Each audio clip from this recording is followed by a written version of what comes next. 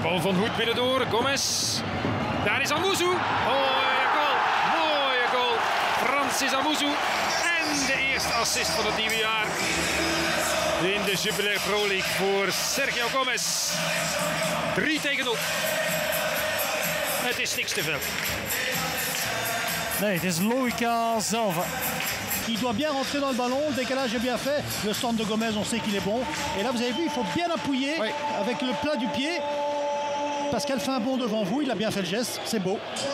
C'est vrai qu'il y a deux ans, Amouzou l'aurait peut-être mise. euh, Poteau sur le côté. mais là, en même temps, là, il la met au fond. Et ça va vite, ça va très vite. Mais là, pour l'instant, pour la suite des événements et l'ambiance